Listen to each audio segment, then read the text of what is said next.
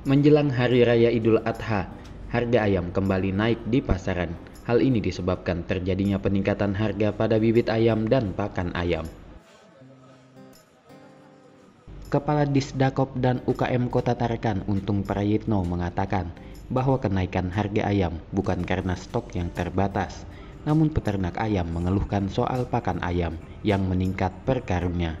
Selain itu, harga bibit ayam juga mengalami kenaikan untuk itu, pihaknya berupaya agar harga ayam tetap sama. Ia tidak mengetahui jelas akan terjadinya kenaikan harga pakan ini. Namun saat ini harga ayam mencapai Rp45.000 sedang beberapa waktu lalu hanya berada di kisaran Rp38 hingga Rp40.000 per kilogramnya.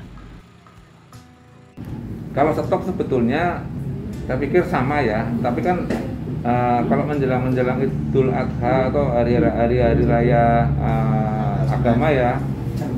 Jadi stoknya stab eh stoknya uh, apa namanya itu uh, stabil. stabil aja tapi permintaan banyak. Nah itu kan akhirnya kan uh, bergejolak pada harga itu pasti. Karena per, antara permintaan dan suplainya itu suplainya tetap tapi demandnya permintaannya tuh uh, karena tuh banyak ya dalam artian tuh dalam menjelang itulah ini permintaan uh, terlalu banyak ya otomatis itu uh, harga akan naik. Tapi kalau saya lihat ini dari bantuan monitoring harga ini uh, hanya di cabai saja. Kalau yang kemarin kan daging ayam ya hmm. itu ayam juga kenaikan sampai 50 55 ya. Sekarang ini posisinya masih stabil aja kalau ternyata nanti dua hari atau satu hari menjelang ibadah ternyata kebutuhan harga-harga melonjak antisipasi dari dinas? Kalau saya gini ya, antisipasi dalam artian kan stok ya. Nah, stok yang penting stoknya kan uh, cukup ya. Nah, itu yang kami pantau. Justru kalau stoknya itu berkurang, itu biasanya akan uh, bergejolak di harga semakin naik, naik gitu ya. Tetapi kalau stoknya cukup, harga naik itu biasanya itu biasanya tadi apa uh, stok seperti biasanya itu uh, nggak ada berkurang ya. Tapi permintaan ini banyak. Nah otomatis akan apa namanya akan naik harga. Nah tetapi nanti kalau sudah uh, terlewati dari uh, hari-hari raya ini akan turun lagi.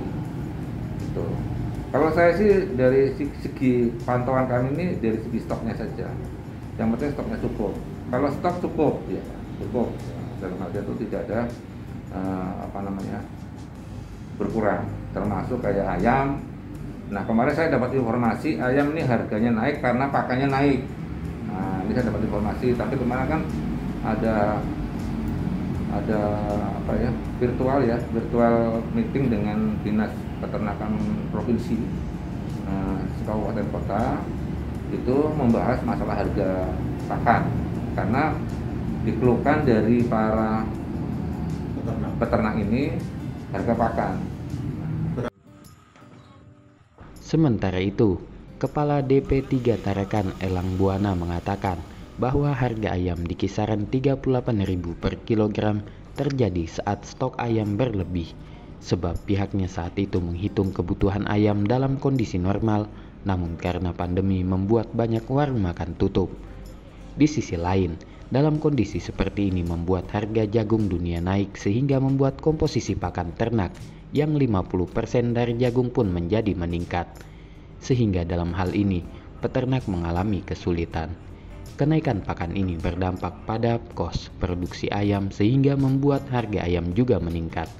Elang mengatakan, jika pihaknya banyak menerima keluhan dari peternak ayam, namun jika pihaknya menaikkan serapan maka akan menjadi inflasi yang namanya pakan ternak itu kan komposisinya lima lebih daripada 50% adalah jagung. Sementara jagung harga jagung dunia naik. Nah, kita ini masih untuk kebutuhan jagung masih banyak masih impor ya. Ada beberapa memang impor di samping produksi sendiri tapi impor. Nah, sementara harga jagung dunia naik maka e, mempengaruhi kom, apa harga pakan. Yedidah Pakondo melaporkan.